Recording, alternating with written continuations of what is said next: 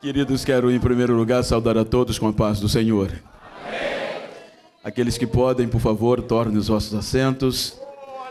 Enquanto quero louvar a Deus pela oportunidade a mim concedida de ter o privilégio de estar nesta vigília tão honrada, tão falada e tão cheia de Deus. Quero agradecer ao pastor Moisés, muito obrigado, pastor, pela honra, toda a equipe que coordena esta vigília, os recuperandos, como também fazer menção de louvor a Deus pela vida do Jackson, da Talita, amigos, também fazem parte deste projeto, e todos os não vou ter a ousadia, pois sei que não estou à altura de de usar o termo companheiros, mas eu vou ter a ousadia de chamá-los de amigos. Todos os amigos que compõem este ministério. Que Deus recompense-os ricamente. Queridos, também rever o cantor Júnior, pastor Macedo, Rubens, é uma alegria ímpar de reencontrar estes homens. Quero louvar a Deus pela vida do pastor Samuel, irmã Jaqueline, pela receptividade tão calorosa. Quero registrar os meus agradecimentos a vós. Queridos, eu sou de uma de uma cultura nordestina.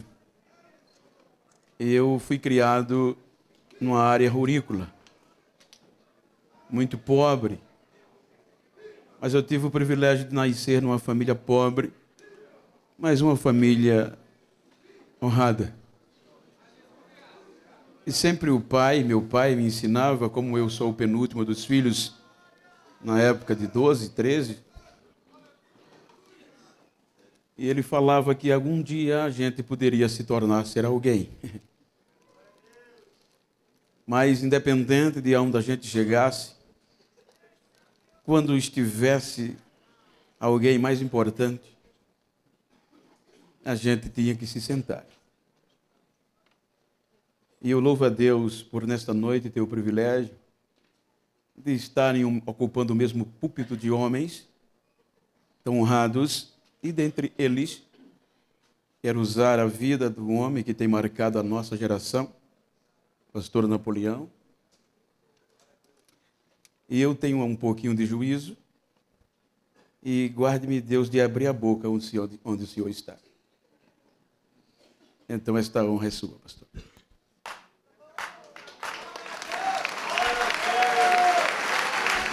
Meus queridos irmãos, o pastor Genival, ele tem um princípio que muitas pessoas não os têm. Chama princípio de educação doméstica é o que acompanha ele. Ele não é um homem que está no pinclo das letras, mas é um homem que teve uma criação. Na sua introdução, ele fala dos seus pais, pobres, porém honrados. Então, pastor Genival, com essa pedagogia de educação doméstica, com este com esta índole espiritual que Deus lhe deu, eu sou seu companheiro, Sou seu irmão em Cristo, sou seu companheiro de ministério.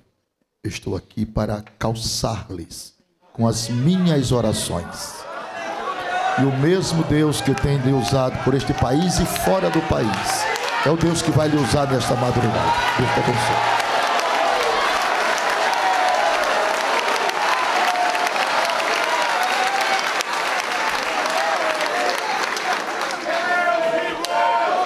Glória a Deus.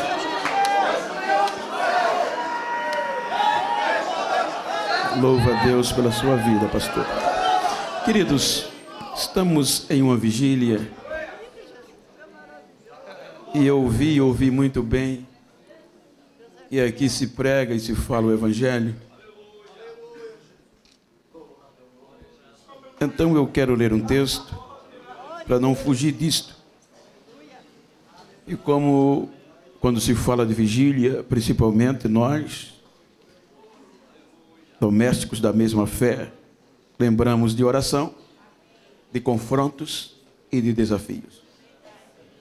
Quero ler um, um texto que está no livro dos Atos dos Apóstolos, capítulo 12, muito conhecido, mas é a mensagem que está no meu coração.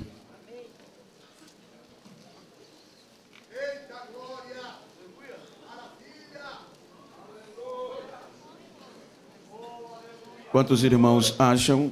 Quero fazer menção de um amigo, pastor Fagundes, Anderson Fagundes, um amigo que Deus tem me dado nesse estado, pastor Silvano. Capítulo 12, o texto diz: Porque por aquele mesmo tempo, o rei Herodes estendeu as mãos sobre alguns da igreja para os maltratar. E matou a espada Tiago, irmão de João e vendo que isto agradara os judeus, continuou mandando prender também a Pedro. E era ou e eram os dias dos asmos. E havendo-o prendido, o encerrou na prisão, entregando-o a quatro quaternos de soldados para que o guardasse, querendo apresentá-lo ao povo depois da Páscoa. Pedro, pois, era guardado na prisão, mas a igreja fazia contínua oração por ele a Deus. Amados, quando nós observamos o texto, o texto, no seu contexto, nos leva a uma reflexão para os dias que vivemos. E neste mesmo sentido, eu gostaria de falar-lhe sobre dias de confrontos. Se nós observarmos o contexto anterior, o próprio, a própria Bíblia mostra que aquilo que nós vivemos, pregamos, portamos, falamos, não é algo de aplausos, não é algo de aluréus, não é algo que venha nos engrandecer. Se nós observarmos a entrada de Cristo neste processo, nós percebemos que Cristo, quando entra no contexto do ser humano, ele começa e ele vem de uma forma por onde ninguém queria acreditar. Haja vista que quando Cristo ele aparece no cenário, ele aparece em meio a controvérsias, em meio a contrariedade, por conta e pelo próprio conhecimento e sancionado pelo contexto da lei rabínica judaica. Os irmãos vão de convir que a Bíblia nos mostra que a perspectiva ou a expectativa dos judeus era o Messias, o libertador. E por isto ter se passado de geração em geração, havia alguns que se autodenominavam ser o tal. E a ponto que pessoas depositavam suas crenças e o seguiam, largavam algumas coisas ou tudo, renunciavam acreditando que estes fossem o Messias. Então o interessante é que a Bíblia mostra que apareceu alguns conhecidos, chamados, como também a Bíblia denomina, chamado Teudas ou Judas, o Galileu.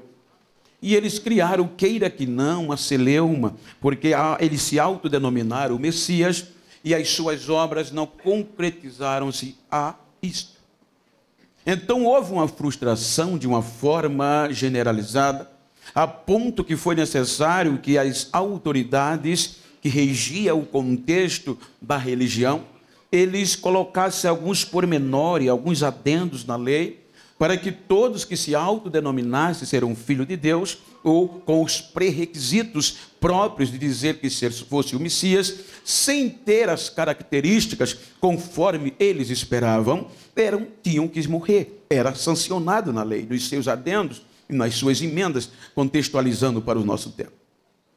O interessante é que quando Cristo entra, ele já entra confrontando contra esta crença e contra a própria lei, os próprios adendo, haja vista, e ele não veio desfazer a lei. Então nós percebemos que quando Cristo começa a pregar lá, ele começa devagarinho, a Bíblia diz que depois que João Batista foi preso e acabaram João Batista, então aparece Jesus pregando este evangelho. Então, o começo de Jesus, ele já começou confrontando, porque naquele culto na sinagoga que estava as autoridades, quando ele se autodenominou seu filho de Deus, ele foi taxativo, ele disse que o Espírito de Deus estava sobre ele. E ele foi enviado para pregar um evangelho limpo, puro, conforme a lei ou o Antigo Testamento já predizia. Então, Cristo, quando ele afronta, não é à toa, e todos que ali estavam presentes, por isso que Lucas escreve que tentaram o matar jogando-o de um monte para baixo, porque a própria lei religiosa judaica permitia, porque ele se autodenominou ser o Messias, inflamando uma frustração que havia passado-se alguns dias atrás. Então, por um milagre, pela autoridade que ele tinha, não o mataram, mas o expulsaram da região de Nazaré. Então, ele fixa moradia em Cafarnaum. Então, ele não para, ele veio, disse: Não vim trazer paz, mas eu vim trazer fogo.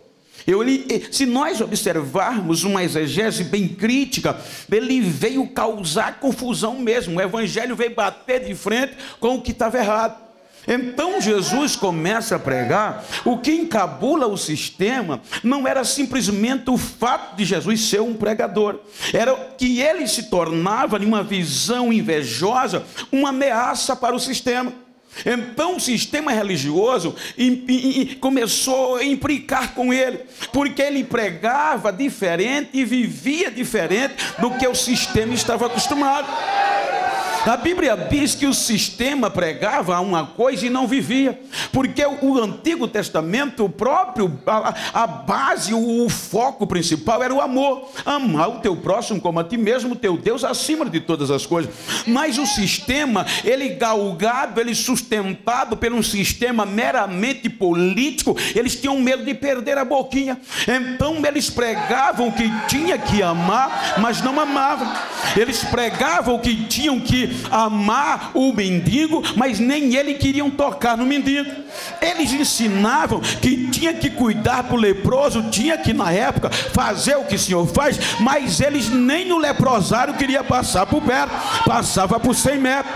Eles pregavam isso. Aí vem Jesus pregando o evangelho de amor, e o Jesus agora prega que amava o próximo. Ou seja, o sistema pregava, tem que ajudar o doente, mas eles não ajudavam. Aí Jesus chegava, pregava pregava, chegava onde estava o doente, além de pregar, ainda dizia: Quer ficar curado hoje? O caba dizia: Quer, então fica, levanta que eu vou te curar. Então o sistema implicava. O Jesus chegava, passava os leprosos, que a lei só permitia uma certa distância de 50, 100 metros se aproximar.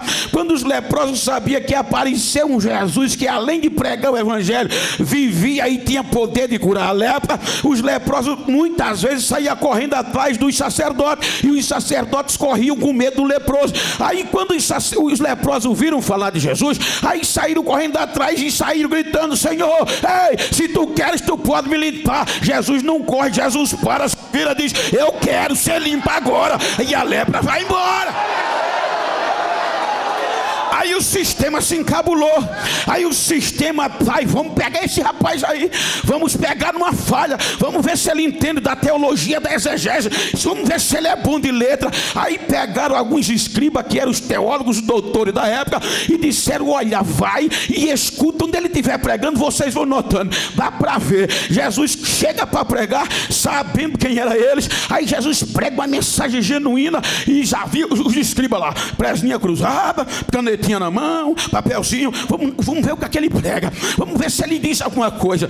Interessante que enquanto os doutores observavam o que o matuto de Nazaré pregava, as lágrimas iam caindo. Aí os doutores não sabiam o que entender. Quando voltava com o relatório, chegava e dizia: Nunca vimos ninguém pregar daquele jeito. Aquele homem é profeta. Nunca vi tanta autoridade. Quem é aquele homem? confronto. O Evangelho nunca andou de mão dada com o mundo. O santo nunca teve conchavo com o imundo, com o impuro, com o profano. Tem que ter confronto. E o santo sempre vence. Aí disseram: não tem o que fazer. Veja que Jesus passou três anos e meio pregando, perturbando, salvando, curando, batizando, e ninguém pegava ele. Aí Jesus se entrega voluntariamente. Eles não conseguiram pegar Jesus. A Bíblia diz que fizeram pesquisa, colocaram emboscada, colocaram pessoas para descobrir e ninguém conseguia pegar Jesus. O mais perto que chegava, voltava convertido.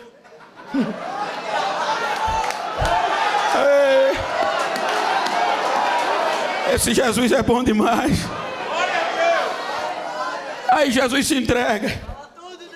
Quando Jesus se entrega, Veja que ele mesmo disse: se eu quisesse, eu rogaria o Pai. E ele enviaria os seus anjos. E não precisava de vocês. Mas tenho coisa melhor para vocês. Ele vai à cruz. Me permita, pastor Napoleão e estudiosos partir de um pressuposto histórico, segundo alguns historiadores. A Bíblia mostra que Jesus começou a ser julgado à noite, que já era contrário à lei. Porque a lei não permitia ninguém ser julgado à noite. E se casos fosse julgado, durante o dia, tinha direito à defesa. Mas tiraram isso de Jesus. O julgamento romano foi cruel. Até meia-noite, a meia-noite começou na casa de Anás. Quiseram agora tirar a casca mesmo. E como não encontraram um crime? Quando Jesus se autodenominou seu filho de Deus, aí baixaram uma acusação, blasfêmia. Ele blasfemou, então vai morrer. Quando ele sai da casa de Caifás, ainda no julgamento judaico, ele passa pela Bienais para a casa de Caifás. E é na casa de Caifás que tentam pagar, subornar pessoas, falsas testemunhas, para dar testemunho contra ele, mas não apareceu nenhum. Todos que apareciam se contradiziam. Aí amanhece o dia, e agora só tinha um último julgamento no contexto judaico, que era no Sinédrio. E quem compunha o Sinédrio?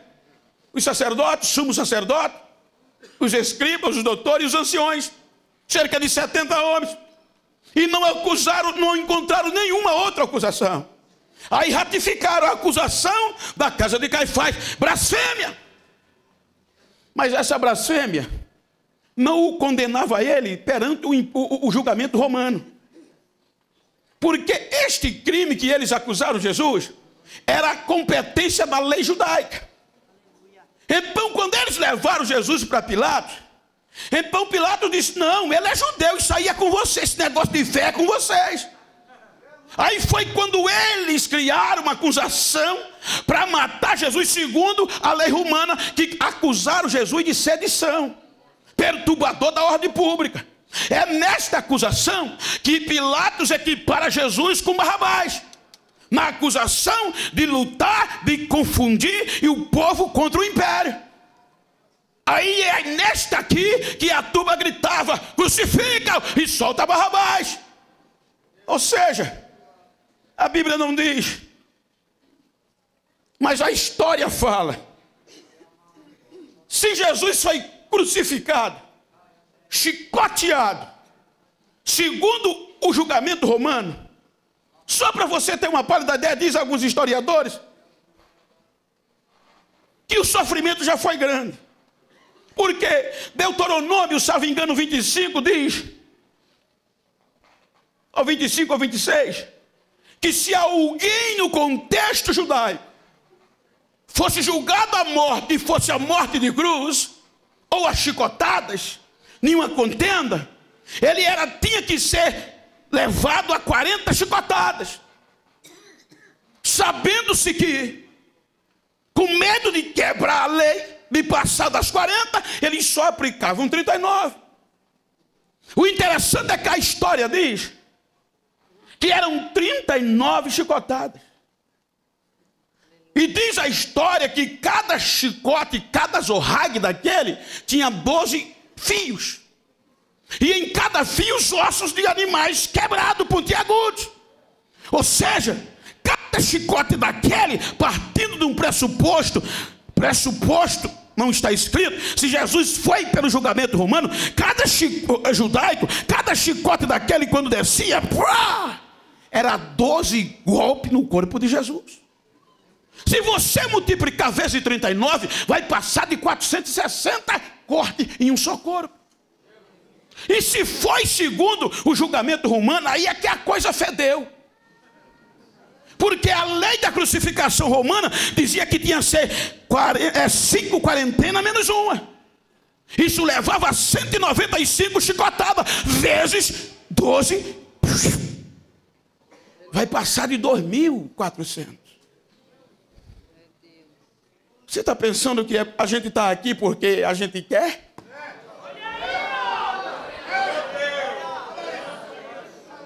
Diga para quem está ao seu lado: o preço foi alto.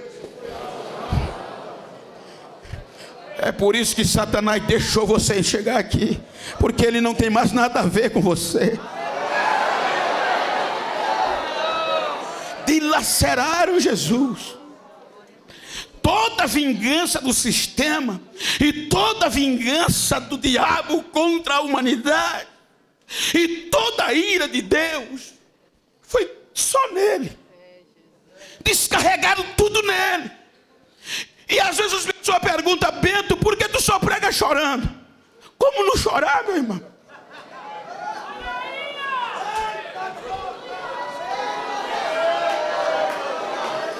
Como não chorar? Descarregaram tudo nele. Para acabar com essa história. Se já mataram Teuda, se Judas já morreu e a igreja deles dissiparam-se, é, essa é mais um, vamos derrubar a carga nele. Só que o sistema esqueceu que a própria Bíblia que eles pregavam dizia: vocês vão matar o Messias, mas no terceiro dia.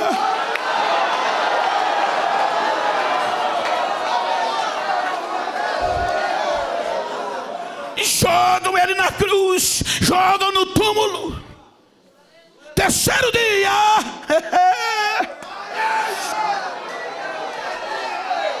o túmulo está aberto.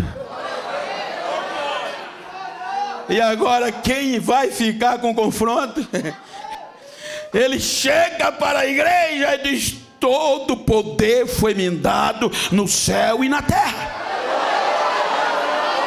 Agora é com vocês. Vão, preguem, façam discípulos de todas as nações, e eu vou estar com vocês todos os dias até a consumação do século. O interessante, amados, é que Jesus vai aos céus. É. E para esta igreja, a qual a gente faz parte até hoje, não era fácil, porque o sistema aproveitou e ludibriou a realidade. A Bíblia diz que eles subornaram os soldados e se espalhou em todo Jerusalém e circunvizinhança que Jesus estava morto.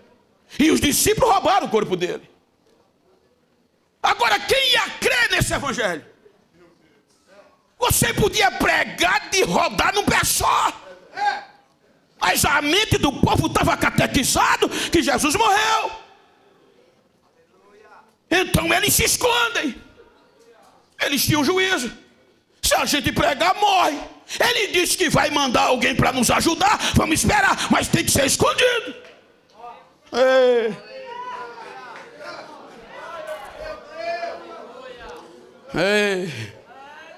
A Bíblia diz que agora. Eu, eu acho lindo isso. O Evangelho por si mesmo já confronta. Agora, olha quem estava naquele cenáculo. Só tinha analfabeto na maioria. Ex-prostituta. Só tinha recuperado. Raça. Só tinha gente ruim. pescador, ex-prostituta, prostituta, ex-leproso. A Jerusalém estava cheia de gente importante por causa da festa do Pentecostes. E foi justamente naquele dia que o Espírito Santo vai para aquela turminha.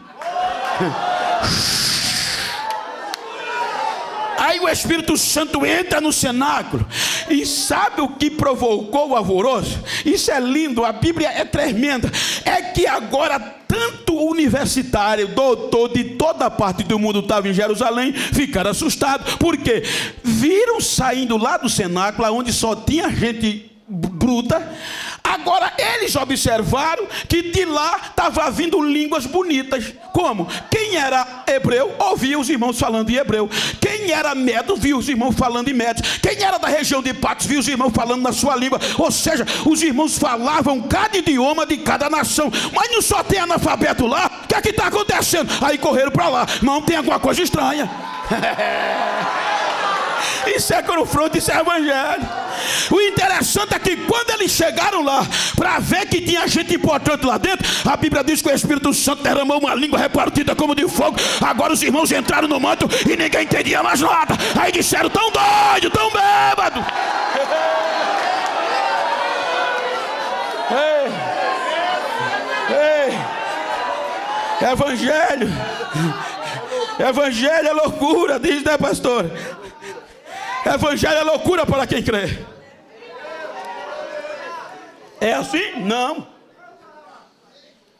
O Evangelho é loucura para os que perecem. Não entenderam nada. Aí disseram: está doido. Aí agora Pedro, que foi sacudido pelo aquele negócio lá, que nem escrever sabia, partindo de um pressuposto da mensagem aqui. Não tinha um anelzão no dedo, que nem eu. Analfabeta até o tutano.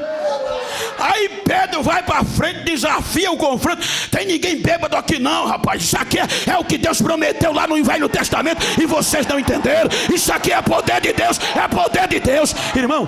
Quase 3 mil pessoas. E o bonito é que a Bíblia diz que até sacerdote. botaram a cara no chão e só tiveram o direito de dizer: não chamaram mais nem pescador. Ô oh, varão! O que, que a gente faz para ser crente também? Aí o analfabeto lá de cima diz: aceita Jesus como Salvador e sejam batizados, e vocês vão ser. Ei.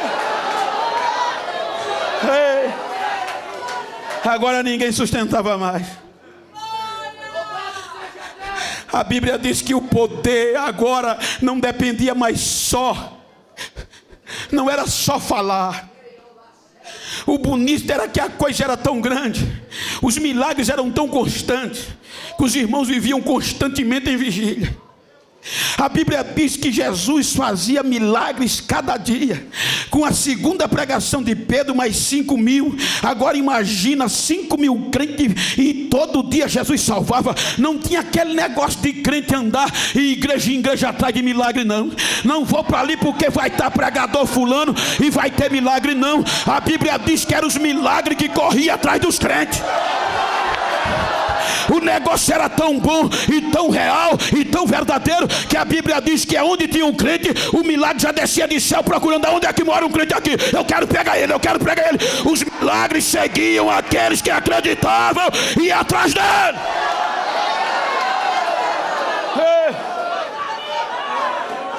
Hoje a gente quer milagre em tem copo d'água.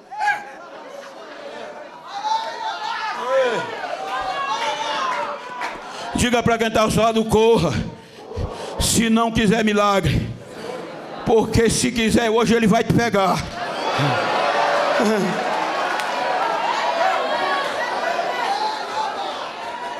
Aí agora a cidade foi sacudida. Aí a igreja começa a viver os primeiros confrontos. Jesus estava no céu. O que era que Jesus fazia com a igreja? Só piorava, no bom sentido. Porque a igreja não tinha moleza. E quanto mais a igreja crescia, mais a prova vinha. Aí agora o sistema desencadeou tudo. O que é que está acontecendo?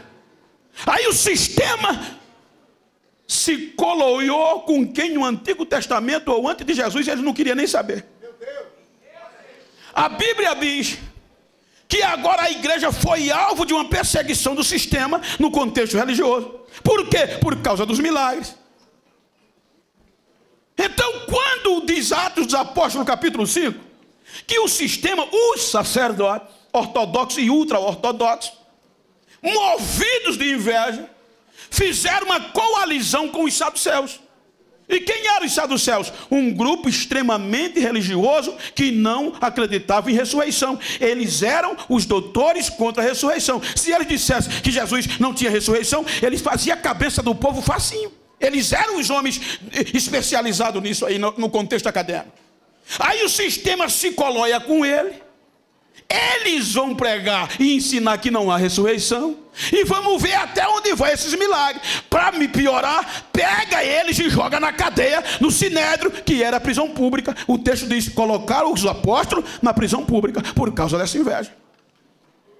Quando prenderam os crentes, os apóstolos, agora os saduceus, com o sistema, marcaram uma reunião para o dia seguinte os irmãos foram presos no final da tarde e no dia seguinte já tinha uma reunião urgencial.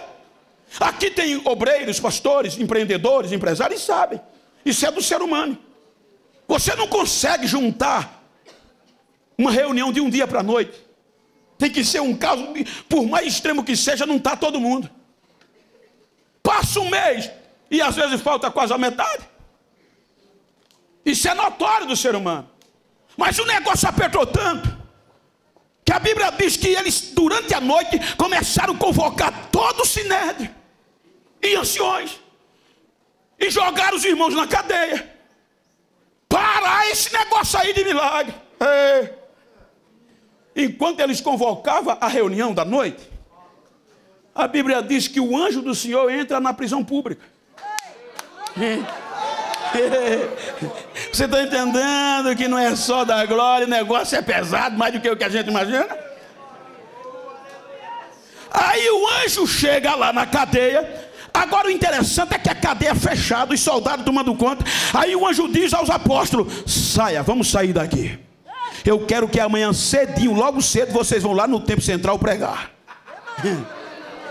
Então eles não sabiam. Quando amanhece o dia, todo mundo na reunião. Diz o Atos dos Apóstolos, capítulo 5. Com inveja, parar esse negócio aí, não vai ter mais milagre. Eles estão presos. Aí, quando abre a pauta, era urgencial. Manda buscar os presos. Quando o mensageiro chega lá, os soldados de plantão, cadeado na porta, quando abrir a cadeia, vazia. Dá para entender? Dá para entender? É. Aí começaram a chamar, o, o, o, o, sumo sacerdote não acreditou.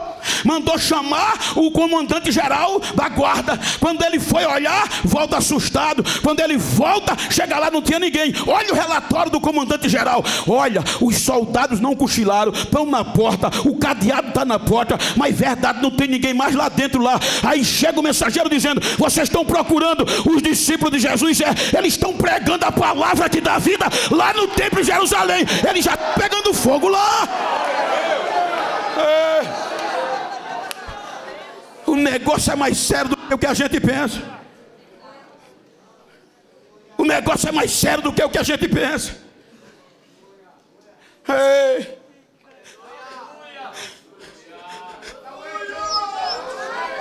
Hoje a gente não se prega mais isso, não se quer mais pregar. Mas o que usou esses homens para sacudir a nossa geração passada foi essas mensagens. Mensagem da cruz. Mensagem de desafios.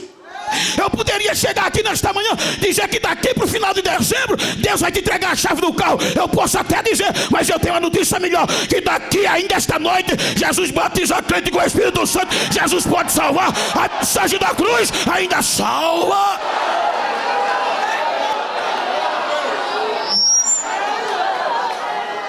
Mensagem da cruz não dá mais ibope. É. dizer que a gente tem que confrontar contra o pecado, corre o risco de não ser mais convidado, mas a Assembleia de Deus, a igreja que eu fui criado, a igreja do Pentecoste, aqui em Santa Catarina, aqui em São José, ainda é a mesma, o pecado ainda é pecado, o milagre ainda é milagre, Jesus ainda salva, Jesus ainda perdoa o pecador.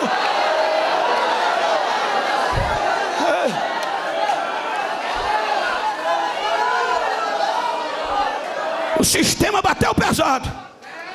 Mas quanto mais batia, mais Jesus salvava. Quanto mais apertava, mais um milagre acontecia. O que mudou? O sistema não prevalecia.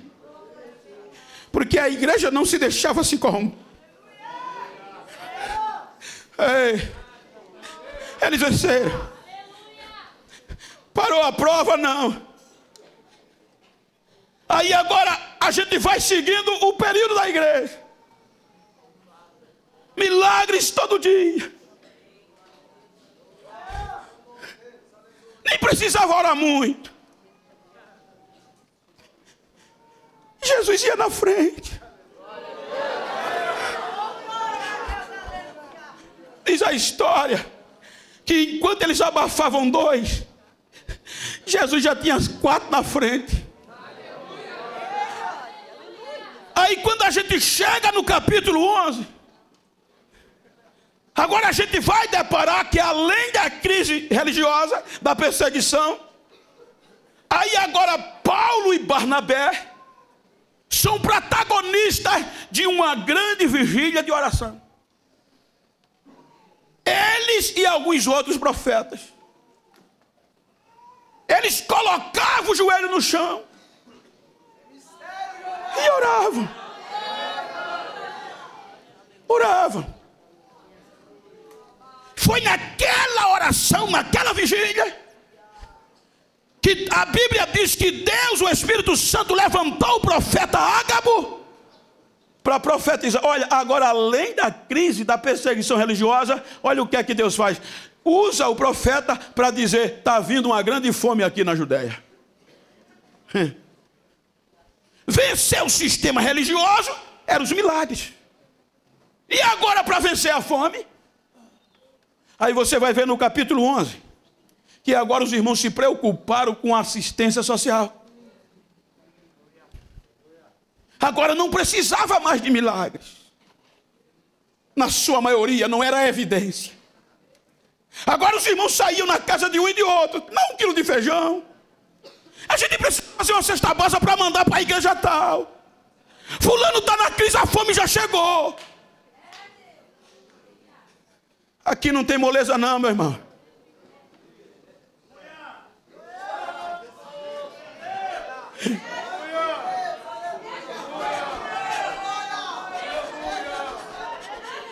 Pergunta a esses homens da geração passada. Que quando não tinha avião para lá e para cá era mais ruim, era. Mas o negócio era mais gostoso.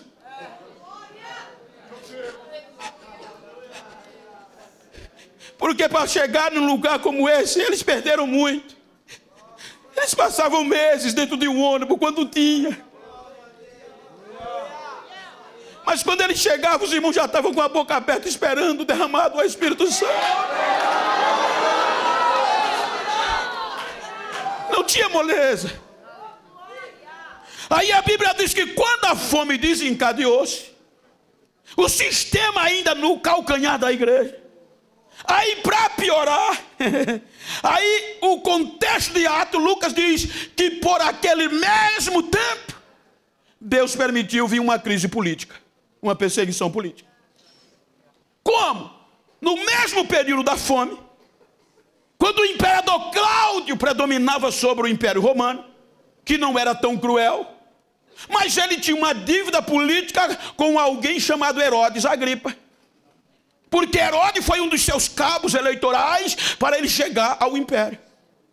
E o que é que ele faz? Como Herodes era da linhagem Edomeia de Edom, então, no contexto da Judéia, ele manda Herodes para reinar na região da Judéia para uma dívida política.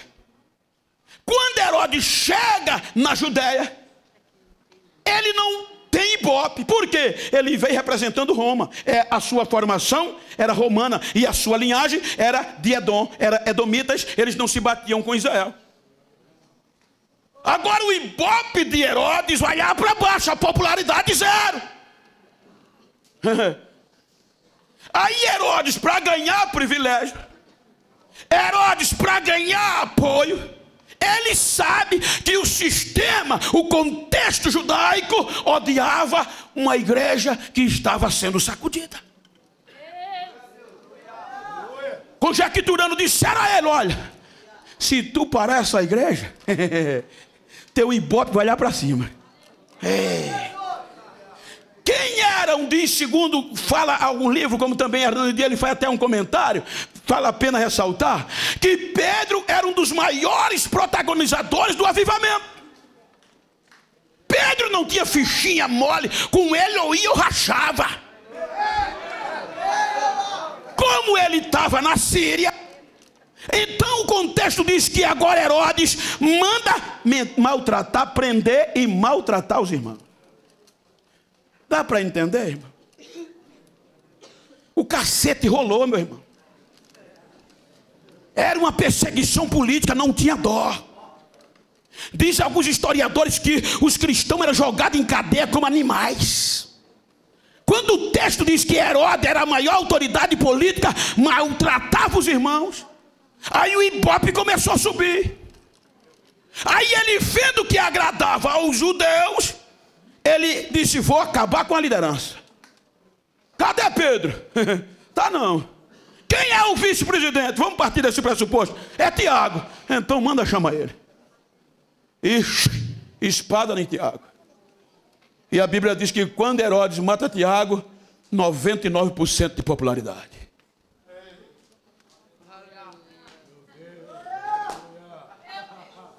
Ei.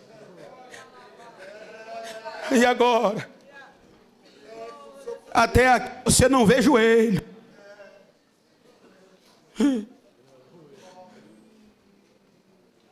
Agora o cacete rolando.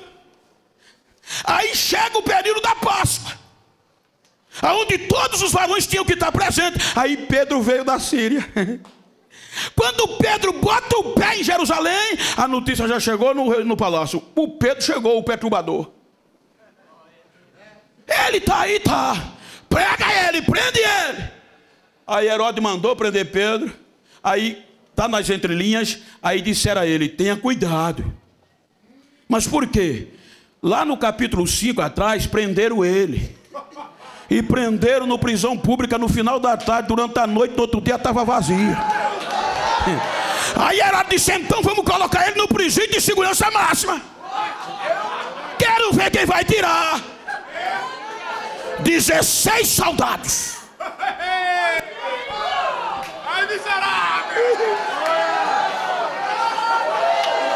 Como era comum na prisão romana, corrente na cintura, grudada no calcanhar, e até a mão, e um soldado agemado no lado e outro no outro. Foi no cego, como diz o nordestino. Aí, como a lei não permitia, a lei judaica, matar ninguém durante os dias dos asmos ou da Páscoa, aí Herodes joga ele no presídio de segurança máxima e joga ele lá dentro. E agora? Aí a Bíblia diz que quando Herodes jogou Pedro lá dentro, não tinha outra saída.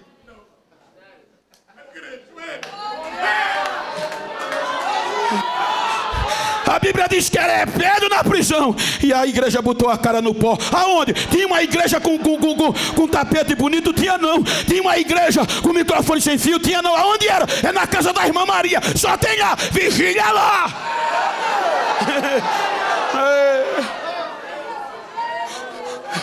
Aí o Lucas disse que era Pedro na prisão e a igreja em contínua. É. É. Dia e de noite. Contínua. Não tinha hora para terminar. Começou, só vai parar quando Jesus entrar lá dentro e tirar ele. Mas o princípio de segurança máxima. Mas a oração vai entrar lá. Dá para ver hoje, irmão. Eles não podiam ficar 24 horas. Sempre é, na ótica, na lógica humana, eles trocavam. Mas dá para ver até hoje. Era um saindo e o outro chegando. E aí? Não, Pedro ainda está lá. E como é que está a oração? O fogo está pegando. Eu deixei aceso. Deixa comigo que eu vou continuar. Eu vou continuar soprando lá dentro. Eu só vou fogo de dia e fogo de noite. Como dizia o meu pastor, diga para quem está ao seu lado: é fogo por cima fogo por baixo, fogo por dentro e fogo por fora. Acabou.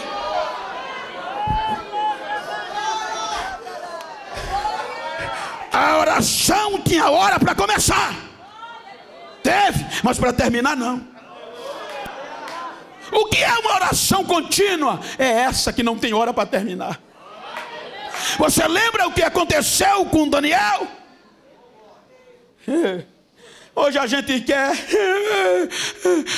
Eu jejuei um dia, eu já orei meia hora e nada.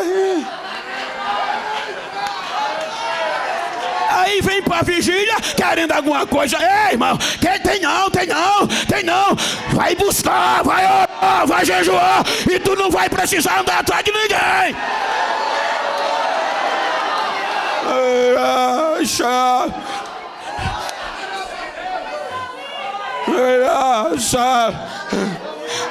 Eu estou numa igreja pentecostal, não estou? Tem alguém frio aí? Tem. Tem alguém pentecostal aí? Tem. Então diga para quem está ao seu lado, aguenta aí.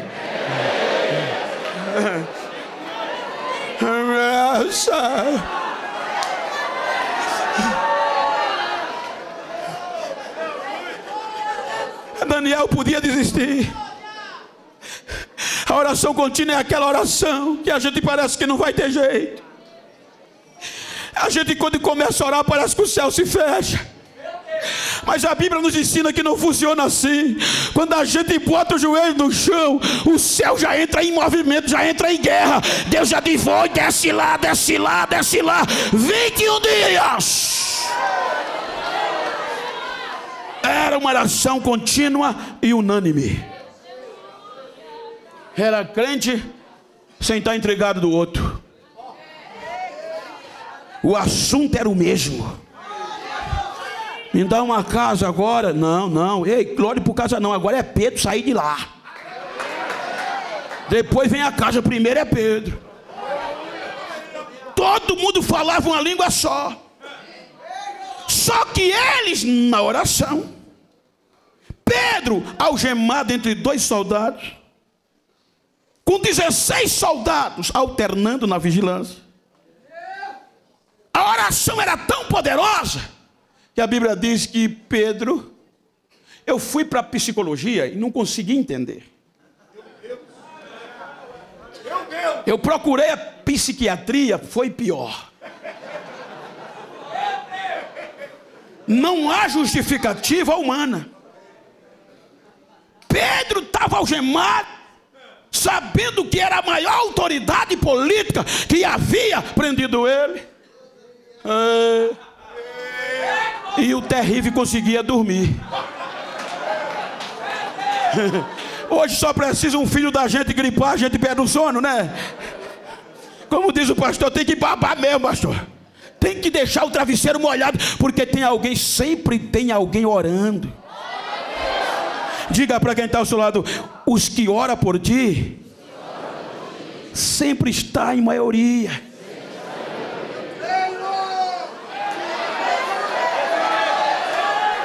A notícia chegou na prisão. Fica tranquilo, Pedro.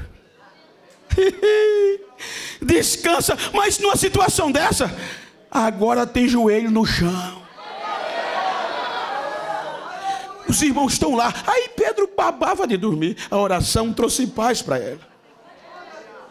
Aí a Bíblia diz que no dia que, anterior,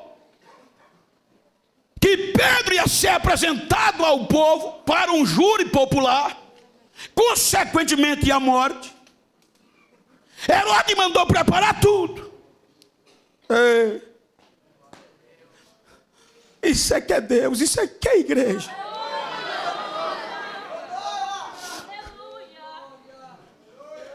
Eu não sou saudosista, eu costumo dizer, pastor. Mas às vezes dá saudade das nossas igrejas.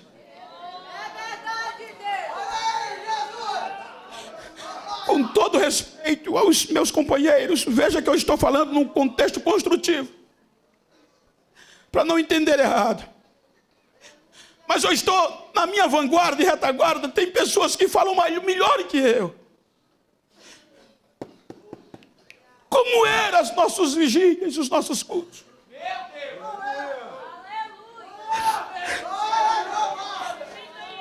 Quantos popstar tinha nos nossos cultos, nas nossas vigílias?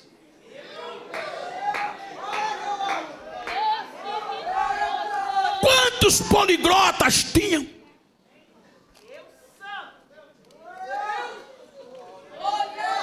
Quantos doutores? Eu estou mostrando a vantagem que a gente tem sobre eles. Não estou no contexto pejorativo, estou falando da vantagem que a gente tem. Você chegava nas vigílias, tinha dificuldade de mandar os irmãos levantar do joelho. Você via foto para lá e para cá na hora do culto?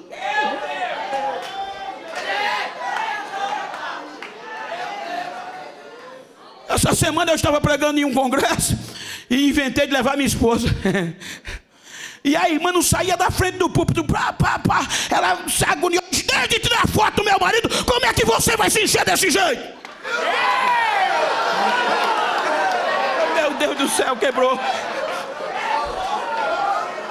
Tinha não.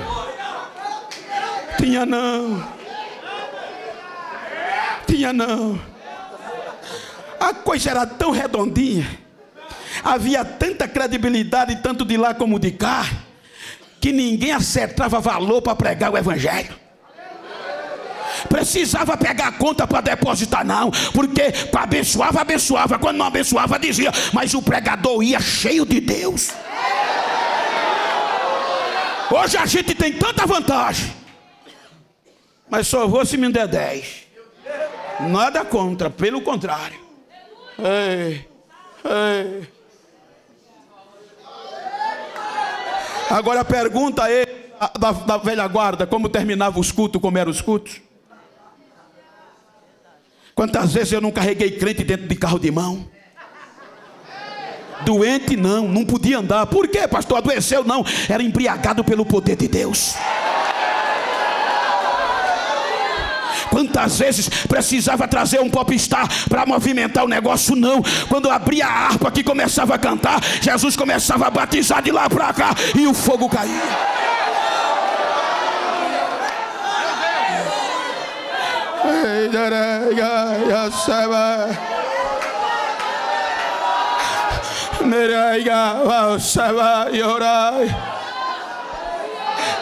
Pedro estava preso um presídio de segurança máxima. E a igreja? Orando. E o terrível? Dormindo. Dois soldados, um no lado, outro de outro, com as algemas todo acorrentado. Na véspera de ser julgado ou condenado à morte.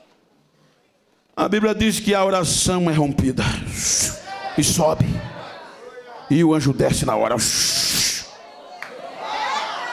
Quando o anjo desce e entra na igreja. Hum. Passa na oração e vai direto para a prisão. Quando chega na prisão, veja que Pedro estava dormindo. Aí o anjo chega, dá um toquezinho no lado dele. Ele se espeta, vamos embora, rapaz.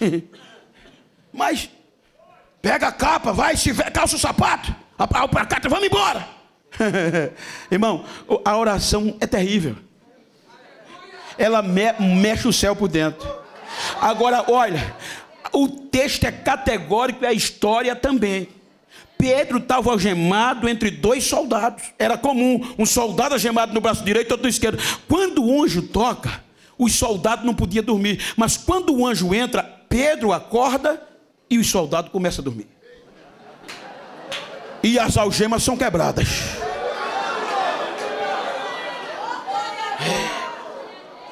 É. É. O anjo disse: Vamos sair daqui. Aí o anjo disse que eles passam a primeira guarda, quatro soldados, que dava 16. Vamos, dois, mais dois, quatro.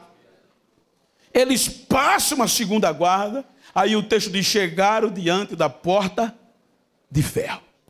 Era a segurança máxima. Diz alguns historiadores que aquelas portas eram tão fixadas e tão pesadas que precisavam três juntas de bois para abri-las. Por meio de argola, colocava a corrente no, no, no, no, jugo do boi, e o boi saía puxando a corrente para frente, para a porta poder subir. Partindo de um pressuposto lógico, seriam seis bois para abrir aquela porta. Passa, pedra atrás, hoje na frente. Primeira porta, segunda porta. Segunda guarda. Chega na porta de ferro, você não vê nenhum boi no texto.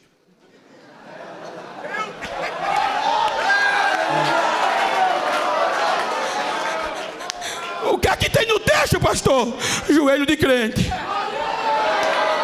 Quando ele chega na primeira na porta de ferro, a Bíblia diz que a porta se levanta sozinho, abre sozinho. E não era qualquer porta, não, era a porta da frente que dava para a cidade, era a porta principal. A oração faz isso, ela liberta também. Ei, se você chegou aqui humilhado, detratado, fica de pé, não desiste, porque Deus vai fazer você sair da prova pela porta da frente. Quem não acreditava vai ter que ver o que Deus está fazendo.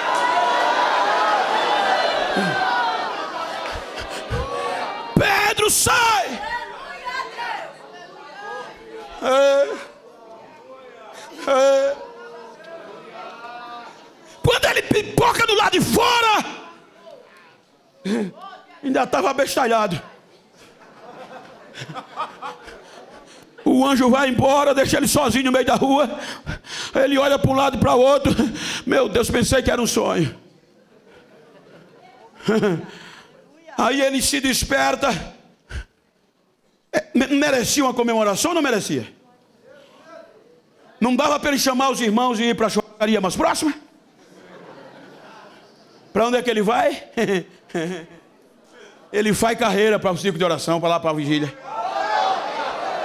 Quando ele chega lá, nem acreditaram que era ele. Ei, ei,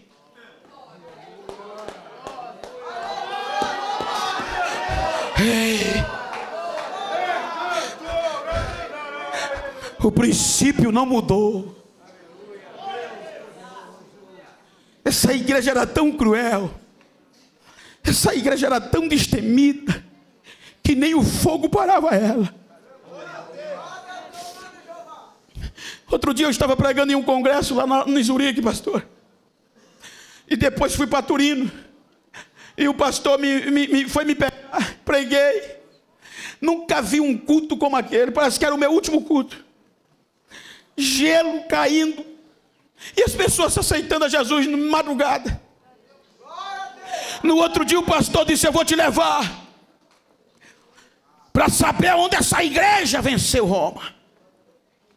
E ele começou a andar comigo. Só que não deu tempo ir a Roma.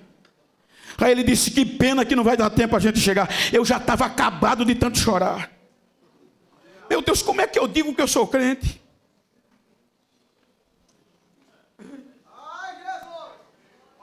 É. Os irmãos não tinham direito que a gente tem.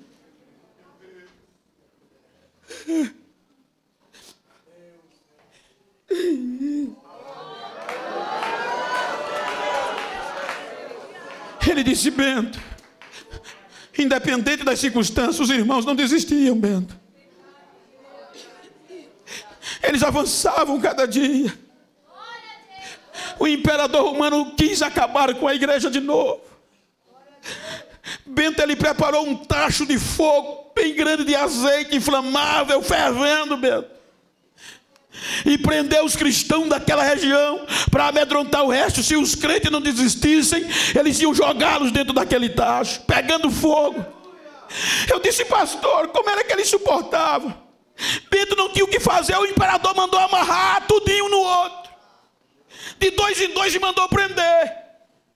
para mostrar que Jesus morreu e a igreja desistia ou ia se acabar. Aí, quando o imperador estava sendo ovacionado, aplaudido, enlouquecido pela multidão, ele disse: Bento, o barulho dos romanos fazia a praça tremer, sacudia a praça, Bento. Mas como, pastor? Dando glória aos deuses romanos, dizendo que eles eram maior do que o Jesus da igreja. E o que era que os crentes faziam, pastor? Amarrados um no outro, Bento, fazer o quê? Quando o imperador foi ovacionado, ele mandou acender o tacho. os soldados colocaram fogo no tacho, que a labareda estralava de tanto forte que estava. E os crentes, ele mandou trazer para botar na frente do povo. Quando a multidão viu os crentes amarrados, disseram: É agora. E os crentes cabisbaixos. Quando ele viu, mandou os soldados entrar no meio do corredor para pegar os crentes. Aí o pastor disse: Bento, quando os soldados entraram armados no corredor, que os crentes viram, os crentes começaram a fazer barulho com a corrente, querendo se soltar um do outro. Aí eu perguntei, pastor, eles queriam correr. Ele disse, Bento, correr para onde, Bento? Eles estavam cheios de Deus até a tampa. Então por que eles queriam quebrar a corrente, pastor? Era porque quando eles viam os soldados e viam o fogo e o azeite fervendo, um olhava para o outro e dizia: Me solta, deixa que quem vai entrar lá primeiro sou eu. Eu vou entrar primeiro, quem vai cair lá dentro primeiro sou eu. Os soldados arrastavam de dois em dois e eles dando glória jogavam dentro do azeite pegando fogo. Na lógica era para ele se desfazer. A multidão dos romanos vibrava de alegria. Quando não dava 10 a 15 minutos, eles começavam a pular de dentro do tacho. Os romanos fechavam a boca. Eu disse, mas como? O pastor disse, Bento, eles começavam a sair de dentro do tacho sem nenhuma queimadura, as correntes tinham sido quebradas. Aí quando os romanos via, parava de cantar. Aí os crentes que ainda estavam amarrados, quando viu os irmãos de pé, começavam a gritar: Jesus está vivo, Jesus está vivo, o nosso Jesus está vivo, ele está vivo. E os crentes que saíam do tacho, pegava na mão do outro e saía gritando, correndo, rodeando fogo e gritando: os deuses de Roma não valem nada, mas o Jesus da igreja é Deus da água, é Deus do fogo, é Deus da água, é Deus do fogo.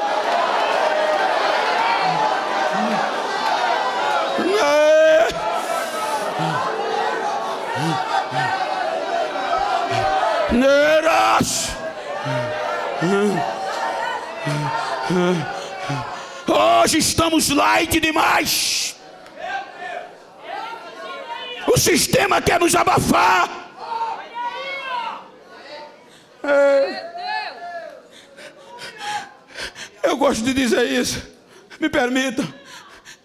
Vieram me dizer, terminei o curso pela Universidade Federal do Rio de Janeiro, teologia. E naquela reunião de, de confraternização, no meio dos top, aí disseram, pastor, o neguinho, o cortador de cana ruim, disseram, ele vai ser o juramentista. O que é que Jesus não faz? Aí agora, eu no meio dos top, doutor, recebendo o canudo, o anel no dedo. Aí na recepção, Bento do céu. Tu é doutor Genival Bento. Mas o que é que tem a ver? Bento, século 21 chegou. Pode pregar como pregava, mas não, meu filho. Mas como? Pode dar muito lugar, mas não. Não pode dar vazão, mas não. Você chora demais, não pode, mas chorar é feio. Se chorar, Bento, tem que ter ética, tá certo. Tu, o matuto, o pentecostal, quando chora, ele faz assim, ó. Aí eles disseram: não pode, Bento, se chorar, ó. se suar, ó.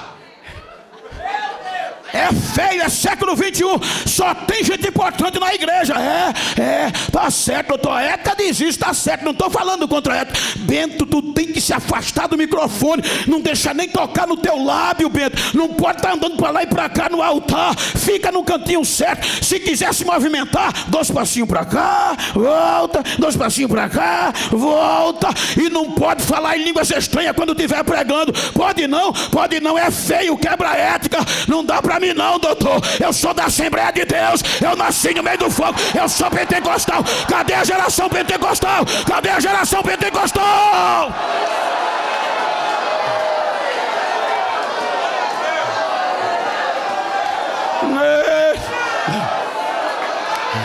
Reias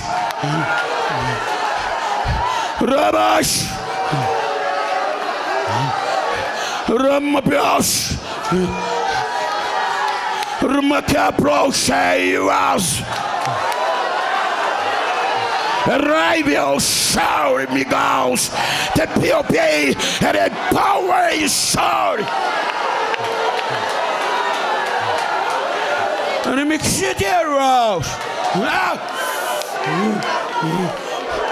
Armatsecho lava shure midigal. And your flower is there and pray over us, Saragalaus. And I pray to Xir, though, and I pray on Shai, to Kai, and Eagle, and the other Shai, and I be on the Shimmeray, and Shai, and I do it just all.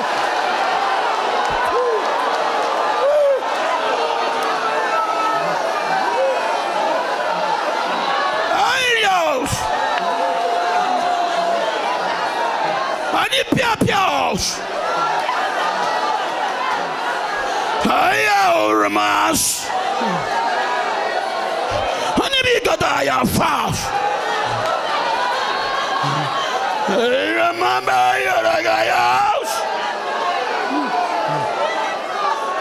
I senegate your wobblers. I go shut up with the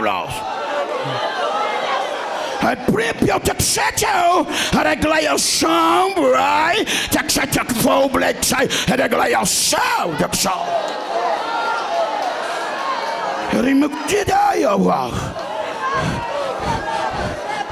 O que eu fiz na geração passada, estou fazendo na geração futura. A unção que enche vidas eu transfiro para esta geração. A minha glória invadirá os quatro cantos deste santuário. Os meus pés palmilharão por esta rua, por esta rua, e a minha glória será derramada sobre esta multidão.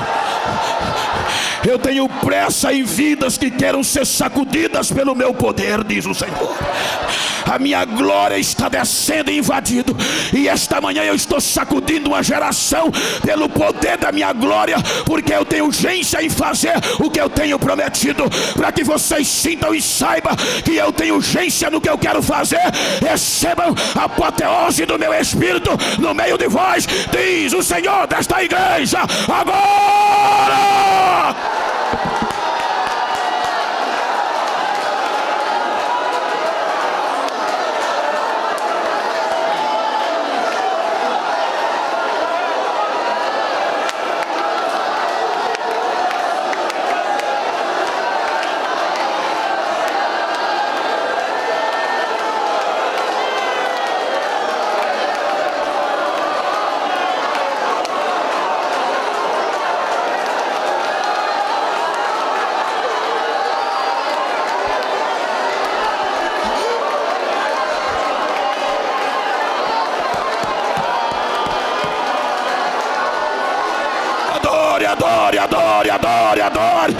Espírito Santo está levantando alguém aqui em línguas estranhas e está falando com a igreja.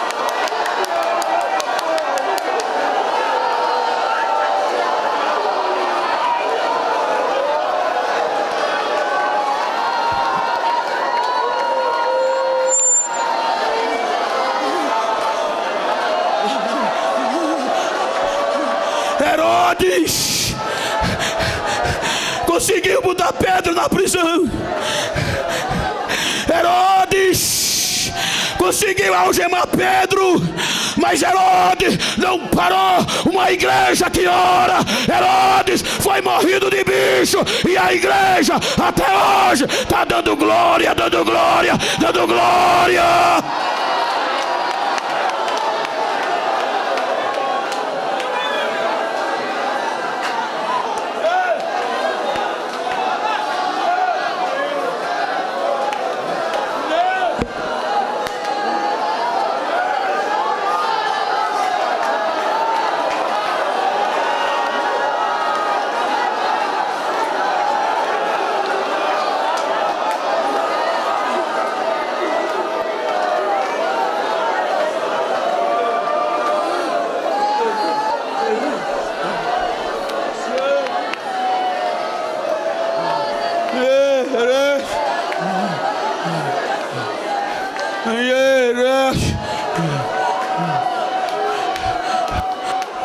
Século 21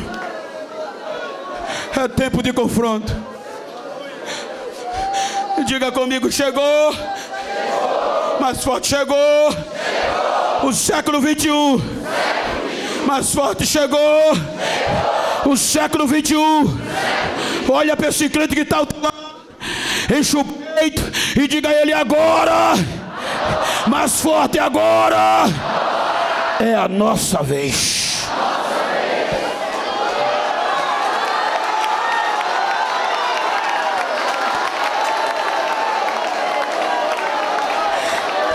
O inferno tem que saber que no meio dessa pós-modernidade, no meio dessa crise, ainda tem um crente, ainda tem crente doido por Jesus, ainda tem crente que fala em língua em praça pública, ainda tem crente cheio, cheio, cheio.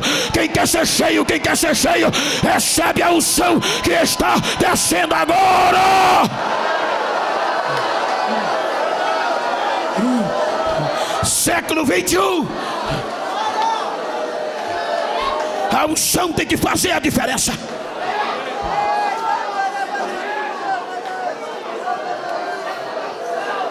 Eu falei lá em Pissarra, permita repetir, que é um testemunho meu.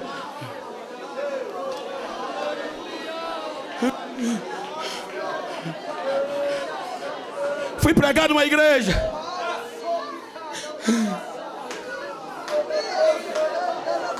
Hoje tem YouTube, Facebook. Todo mundo conhece. 2009, por aí, 2010. Me convidaram para pregar numa igreja. Centro-Oeste, o Sudeste. Júnior, a igreja era imensa. Ginásio. Eu tremi quando eu vi o ginásio só tinha catedrático no altar, na sua maioria. Quando eu fui subindo o altar, o pastor não me conhecia. Aí viu o pretinho subindo. Aí perguntou: quem é aquele moreno?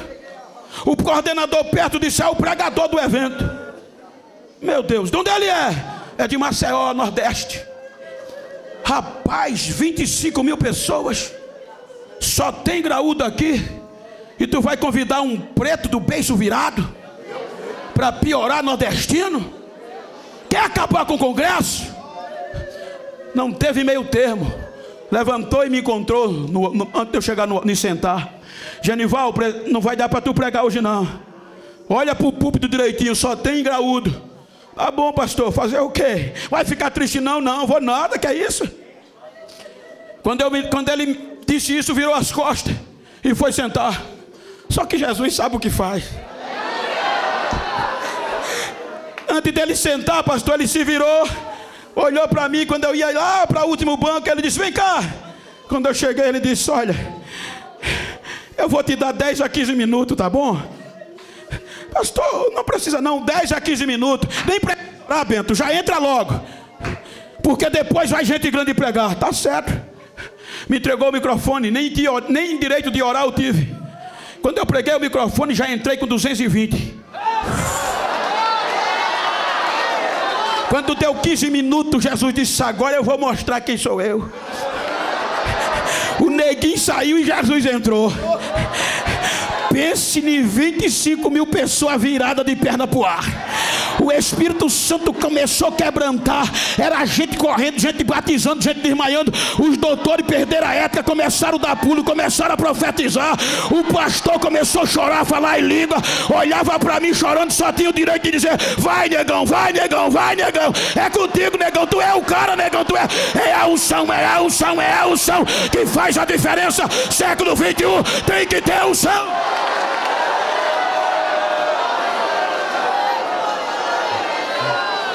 Dá um toque quem está ao teu lado diga, quer ser cheio? É, é,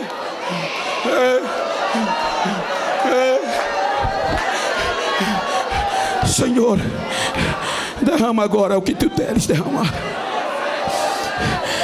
Sacode as nossas vidas aqui agora, Senhor. Estamos no raiar de um novo dia.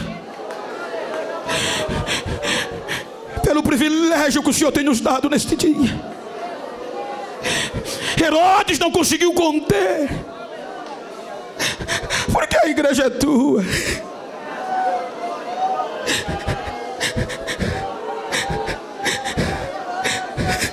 Quando a crise política chegou, Ei. Quando a maior autoridade política perseguiu a igreja, a igreja não foi para a rua fazer protesto.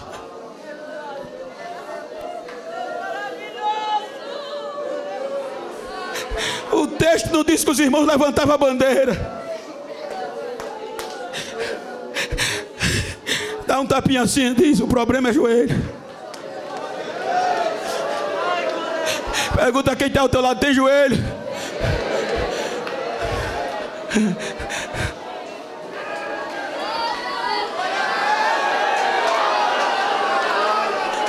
Levanta a tua mão assim, debaixo da submissão dos pastores, de quem eu sou submisso na minha retaguarda, pela direção do Espírito Santo de Deus.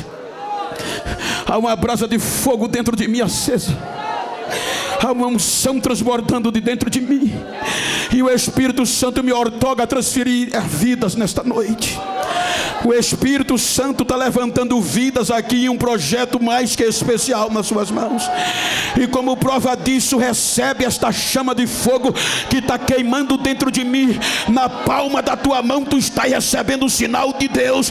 O fogo vai pegar. Aonde tu colocar a palma da mão, vai ter milagre, vai ter milagre e vai ter fogo, vai ter unção e vai ter sinais. A unção de Deus que está sobre mim está sendo ministrada ministrada sobre a tua vida agora. Pega esta mão abençoada, coloca no ombro de quem está ao teu lado e diga para ele: Eu estou cheio de unção, eu estou cheio de unção. Abraça ele, abraça ela, recebe a unção, recebe a unção, recebe a unção, recebe a unção, recebe a unção, recebe a unção, recebe a unção agora.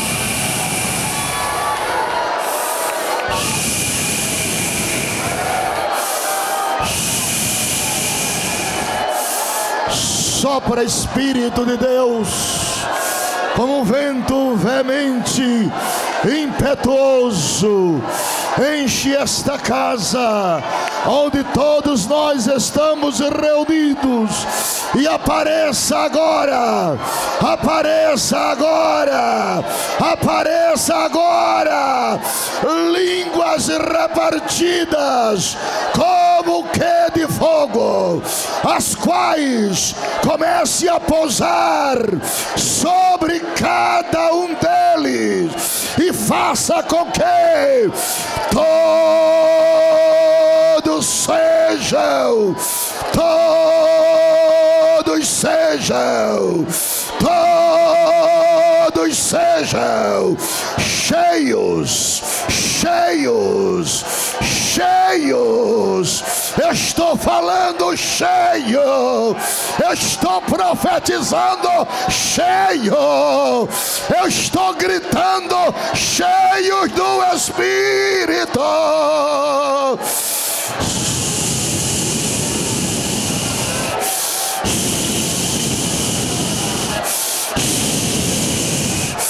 traga renovação, traga batismo com o Espírito Santo a centenas e centenas e centenas e centenas sejam batizados.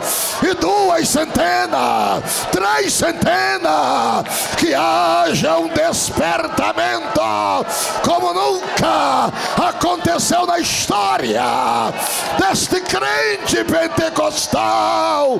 Que a glória desta casa seja maior do que a primeira. Xarabacandalas. Dê um abraço no seu irmão agora de cinco minutos. Abraça teu irmão aí por cinco minutos, porque Deus quer agora trazer o cumprimento da promessa. A promessa não foi cumprida, ela será cumprida agora. Agora!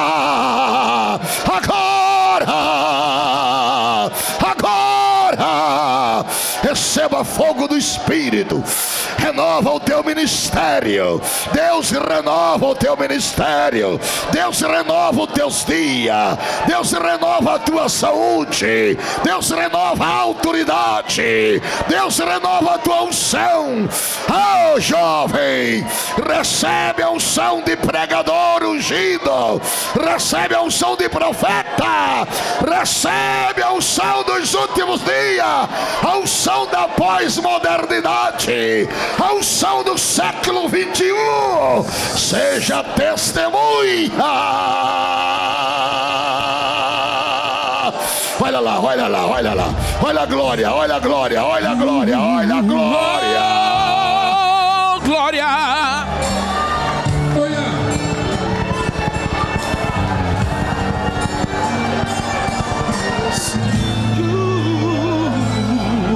Com o coração em agonia, Pedro e João, Marta e Maria chegaram de uma batalha que parecia perdida. É madrugada e a morte já venceu aquela multidão. De um lado ouço choro e clamor, do outro festejam a dor pela morte do mestre. Ei! De repente ouço passos, vejo a luz que ilumina a escuridão. Ei! E prostrados de joelhos, bem calados sem ter reação. Por quê? Pra quem duvidou, o mestre chegou. Ele ressuscitou.